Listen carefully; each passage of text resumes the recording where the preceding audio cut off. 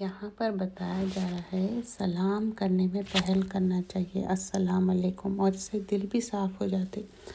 First and foremost छोटे बड़ों को सलाम करें। युसलिम सग़ीर अलल कबीर। तो बचपन से जब हम ट्रेन करते, बच्चों को आदत हो जाती।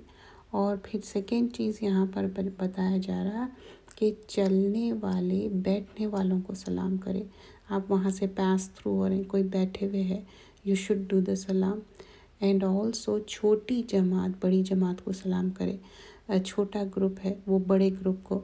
It can be anywhere you know just try to understand और दूसरी चीज़ यहाँ पर बिफोर एंडिंग सलाम करने में पहल करना चाहिए। समटाइम्स क्या होता है, किसी से कोई मन मुटाव रहता, कोई ऐसी नाराज़गी रहती, लेकिन आप सलाम करते, वो नाराज़गी दूर हो जाती है एक दूसरे के साथ स्माइल करते। तो सलाम क्या है? एक दुआ है और एक पीस है। हाय हेलो नहीं है सलाम करिए। अस्सलाम वालेकुम सलाम के आदाब है। जजाकल्ला खैर।